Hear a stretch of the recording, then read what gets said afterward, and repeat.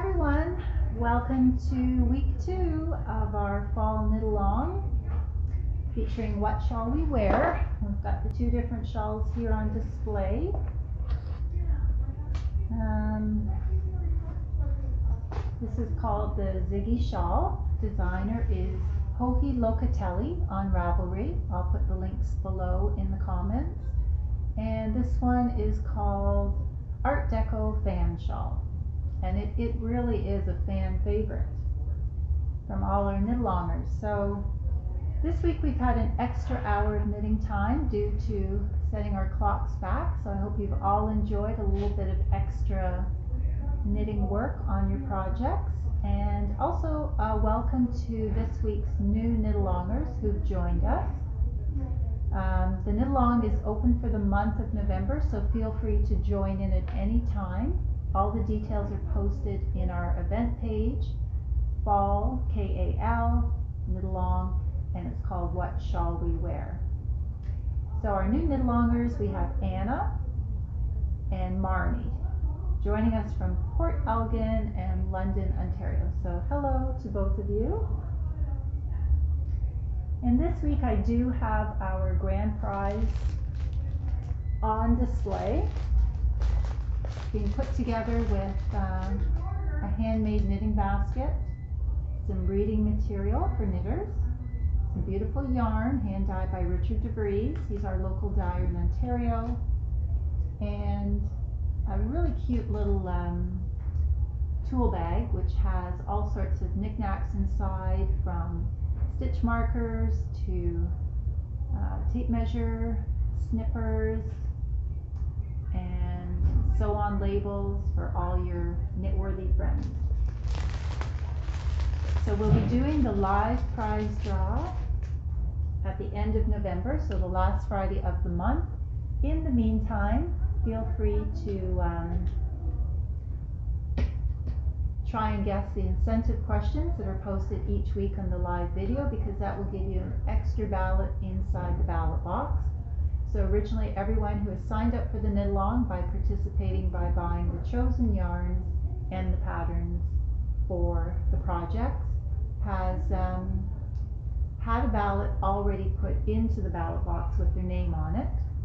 So each week till the end of the month, we will be doing a little bit of trivia and then one lucky trivia winner will get an extra ballot in the box. So that's what it's all about. Hi Karen, good afternoon to you. Hope it's sunny where you are. We've had sun and clouds today. Right now I think the clouds are moving in. But the good news is no snow. It's really been a great month in Ontario weather-wise. I have um, two new, I think I have one, two, three knit-alongs to show you in the different colors. So maybe what I should do is start with describing the shawls and then the yarns for those of you who have not joined us last week or the week before to find out what we are doing. So the first shawl, Ziggy shawl over on my left, is a top-down shawl and it's knit on a four millimeter with two skeins of wool local, which is all natural sheep wool, milled and grown in Yorkshire, England. So there you can get an idea of the size of this gorgeous shawl. So for those of you who love lace work and the more mindless nature of garter stitch, you will love working on this one. It's really not a complicated pattern. It's repeated throughout. Joji Locatelli is known for her um, patterns that are well written with um, charts and written directions so you can choose what works best for you. And uh, we have three colors left in stock. So this is the wool local fingering weight. It just has that really nice granola feel to it. By granola, I just mean it feels natural, it is natural, and you know you're working with good quality wool right from the mill.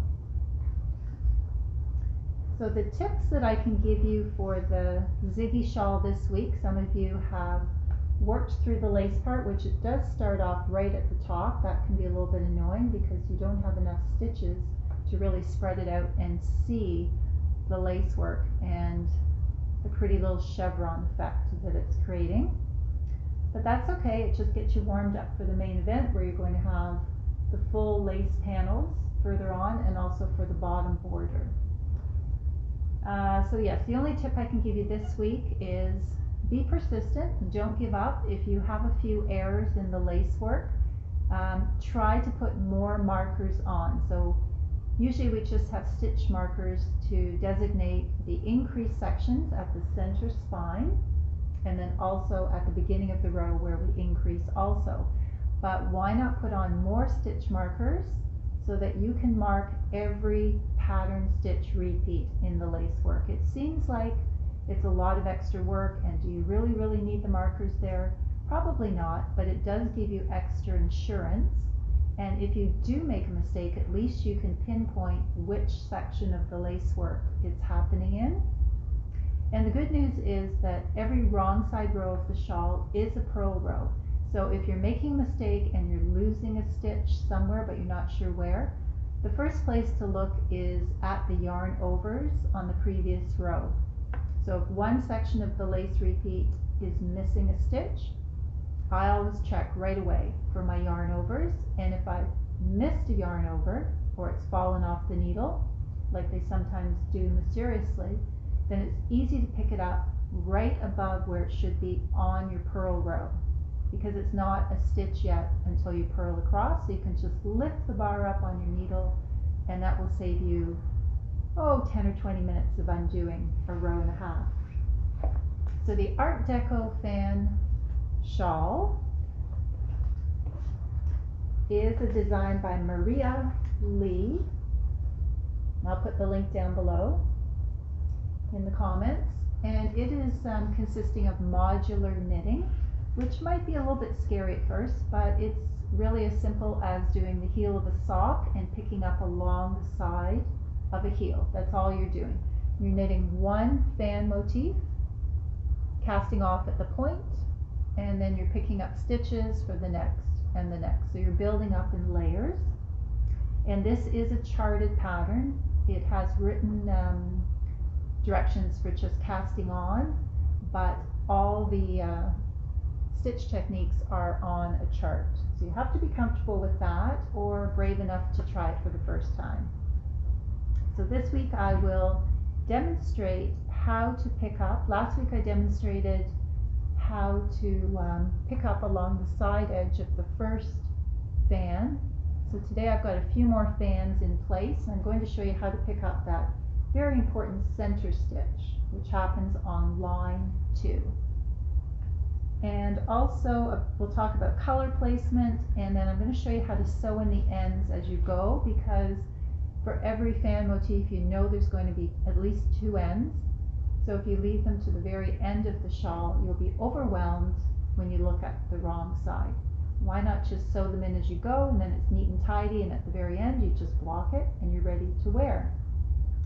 And then we'll have our trivia at the end. So the yarn, um, that we've used for the Ziggy shawl. I have one of our knit alongers has loaned me her her project and it's in a beautiful navy blue which has a black fleck going through it. So I'll bring that up to the camera and then you can see she's put on the extra markers to help her in the lace work.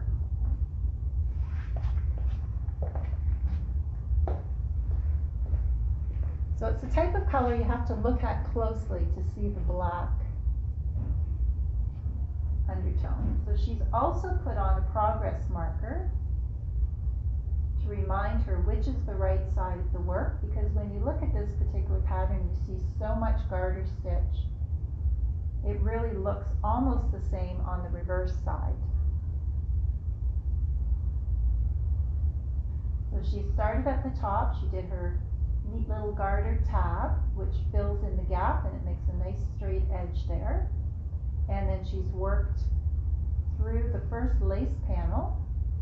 You'll see here the little curly fibers of the sheep are still in the yarn. So she's worked through the first lace panel repeat, and then the garter stitch repeat, and she's now into the second lace panel repeat.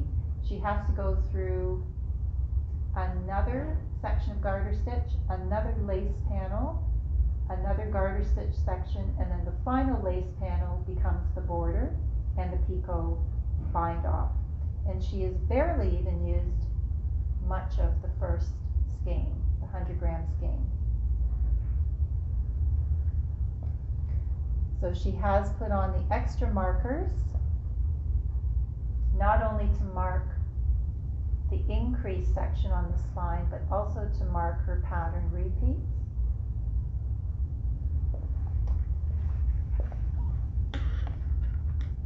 And then we also have a sample here of the Art Deco fan shawl in a very different colorway than what I've used for the shop sample. And I think this is just gorgeous. To me, it looks like the sunset and the sunrise. And I can't wait to see the next colors put into all these little modular sections. So the color used for this one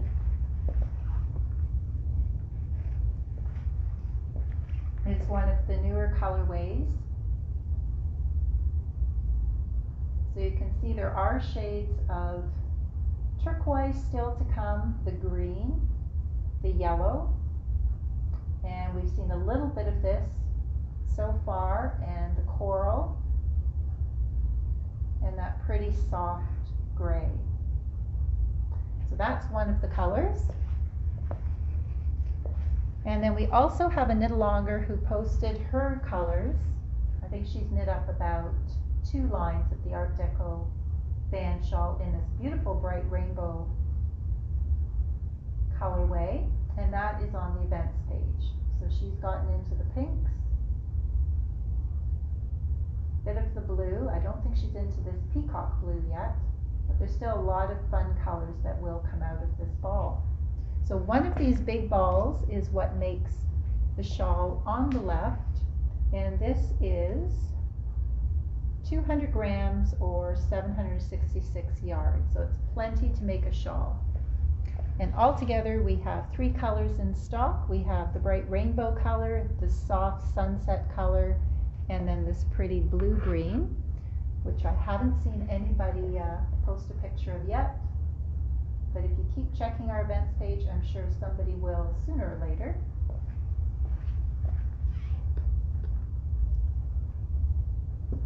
So I have my sample here, which I've been working on. It's the same color as our shop sample, which unfortunately has sold out.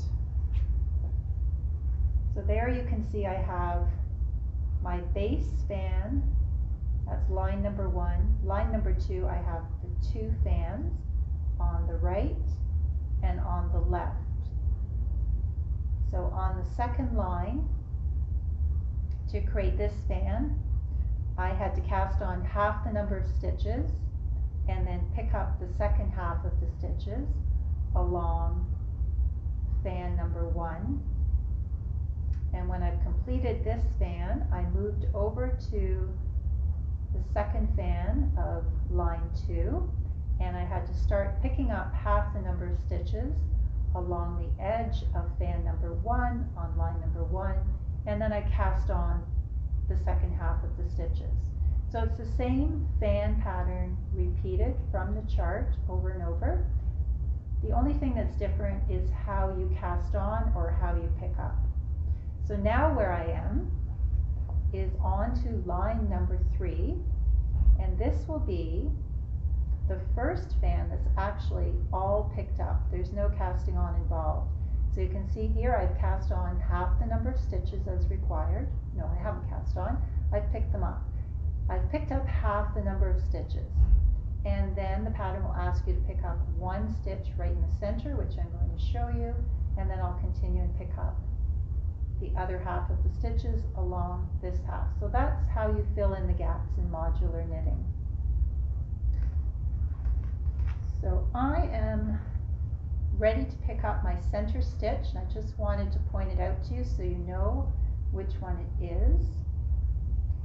It is the final stitch that you've cast off from your very first fan and it tends to tilt to the right so you want to make sure you get right through the middle of it and it is important to pick up that center stitch not beside it not underneath it not above it because that's what holds the fans together and then there will be no holes and no stretching so after I've picked up the center stitch, I just go back along the edge of the next fan and pick up under every two bars a new stitch. So that is in between edge stitch and first knit stitch. Now I don't worry about counting how many I'm picking up, I just pick up one stitch in every single row or every single space and then at the end, if I end up with an extra stitch picked up, that's just filling in a hole, all I'm going to do is knit two together on the wrong side row. It doesn't show at all, it's better to have picked up an extra stitch than to have skipped a space and leave a hole. So I hope that helps you with the picking up of the sections. And then I'm going to get my darning needle and just show you how to weave in your ends. So I'm going to pull back what I've picked up and get rid of the needle.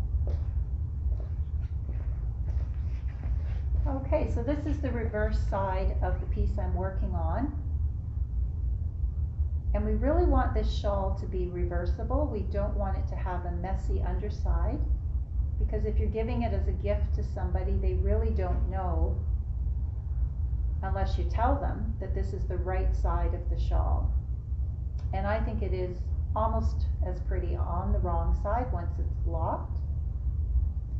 So why not weave in the ends as neatly as possible and let them have the choice. So what I'm going to do here is I'm going to use this end here and thread it up and then I'll show you how I hide it as neatly as possible. Okay, so you can see you have a ridge where we've picked up the stitches on the right side of the work. So that is the ridge where I'm going to hide my ends. I don't sew my ends into the actual knitting. First of all, they tend to pop out. They make that section look a bit too bulky and they can also make it look messy. So the best place to hide your end is just to pinch the layers together so that you can see that ridge is pronounced and then stay on one side of the ridge. Don't uh, jog back and forth. And I'm putting my needle in from the inside of the ridge to the outside. And I'm going under every bar at the edge, staying on the upper level of that ridge. And when I've sewn down about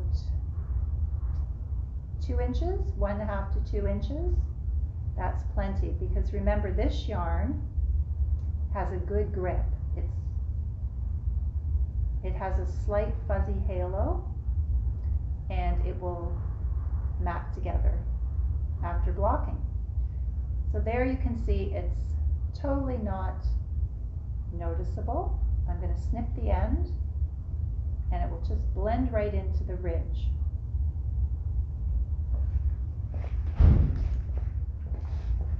So that's a good tip for sewing in your ends as you go instead of waiting till the final cast off and then being overwhelmed and spending two or three hours a night sitting there like a robot just sewing in end after end. Okay, so does anyone have any questions about their shawl project? We've had more questions about this one over the last week than about the Ziggy shawl. I think a lot of you have knit shawls similar to Ziggy, you know, triangular shape, top down with a center spine. So that seems to be more straightforward. This is really kind of artful, free form. Oh, I was going to mention the, the color placement too. So you'll notice that with your big ball, 200 gram ball of yarn, um, the colors change pretty much within every fan motif. I think you might only get one or two fan motifs that just happen accidentally to be all one color, which is totally fine. It's up to you how you place the color. This one has one fan motif that's all in the coral orange and the others change color throughout. So if you want to play with the colors, I suggest doing it after maybe line two is complete because then you get a sense of how the colors are coming out. So what you can do is just jog around. You don't have to do this shawl line by line. You could easily add a motif over on the right side and then jump over and do your next motif on the left side. As long as you're connecting to one of the fans, then you can get away with that. So if you feel that suddenly the ball of yarn is producing too much of the gray color and you're a bit tired of that, then instead of having one gray fan on top of another gray fan or beside a gray fan, spread it out a bit and maybe move some of the gray over to this side. And then when the color changes to that pretty flamingo pink, then you can start to spread that one out and put some of it over on the right side and some on the left and maybe some in the middle. So that's what I mean by color placement. It's a free form shawl, whereas a lot of shawls you just have to take the color the way it comes from the ball because you're going row after row. This one can be built up in any direction that you like as long as two of them are connecting.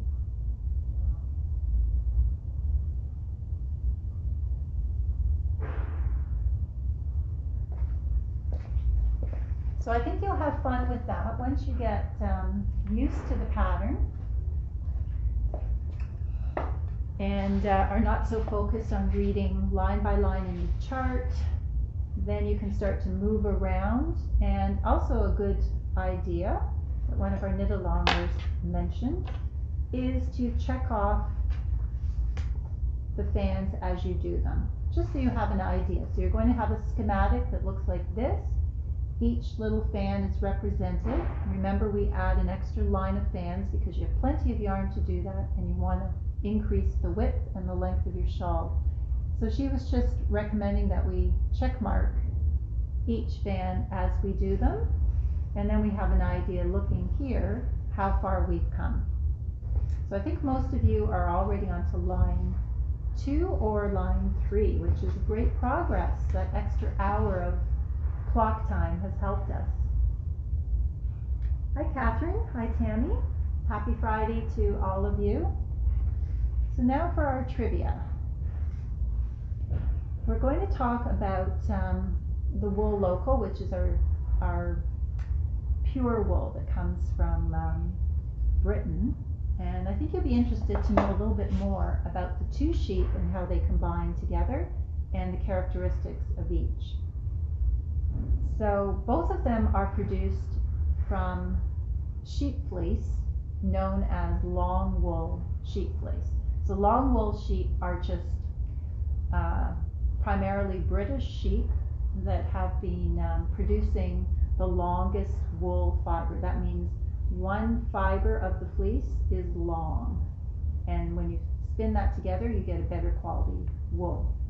So long wool sheep are common in Britain. They produce the longest wool fiber with a large diameter. The large diameter is just one piece of the fiber. It's known as a micron. So it's the measurement used to determine the diameter of a wool fiber. The lower the micron number, the finer the fleece. For example, a human hair, if you pull a hair out of your mouth or out of your head, is approximately 70 microns. So one hair is 70 microns. You'll be surprised to know how much a sheep hair is. Um, so wool local is a blend of the two long wool fleeces, Masham sheep with blue-faced Leicester sheep. We call it BFL, blue-faced Leicester. Masham sheep are a specifically developed breed, hardy enough to withstand British winters and their annual rainfall of 70 inches. They have a black and white spotted face and matching legs, and a very precious looking little tuft of curly wool that comes out of the top. Their fleece grows six to ten inches long, and the micron count is 29 to 34. So you have to compare that to a human hair at 70 micron. BFL or Blue-Faced Leicester is one of the more popular sheep breeds in Britain. They have evolved from ancient crossbreeding of long wool sheep varieties. So there are other types of long wool sheep. It's a very small framed sheep with a high Roman nose and a velvety soft face in a pale blue gray tint. The fleece is very fine and curly with a luster and a fiber diameter of 24 to 28 microns, which makes it thinner and bouncier than most long wools. It's one of the softest of the British fleeces. You'll notice the unmistakable drape and softness right away when knitting with BFL. And you'll find if you're knitting this shawl, it is super bouncy. You can pull on it in multiple directions and it bounces right back. It also has lovely drape after blocking. This one, because it's still in the knitting stage, looks a little bit crimped, which is the natural um, look of the sheep fleece, but once it's blocked, all the fibers will straighten themselves out and uh, fall neatly into place and the stitches bloom and sort of fill in the gaps. So we'll talk about blocking next week, I guess, when we get closer to that.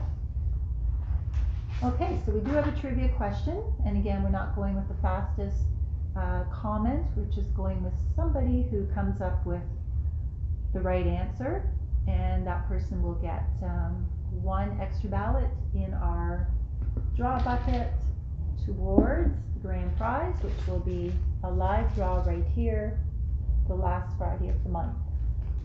I think it's November 26th, I could be wrong. So name one other British long wool sheep. That's pretty easy. There's no standard answer because it can be one of many answers. So I'll let you work on an answer there and um, I hope everyone has a great weekend full of knitting plans and other plans with family or friends. And I will be back next Friday and we'll talk about, um, well, for this one, we're going to talk about the uh, half fan row, which is your top row before you do the cast off. There are some German short rows involved, so there's going to be a little bit more demos there. In the meantime, you can check our event page and You'll see if anyone has posted their works in progress, and also that's where we put all the tips and techniques if you're trying to catch up and maybe have missed last week's video. So happy knitting everyone, we'll see you next Friday at 4.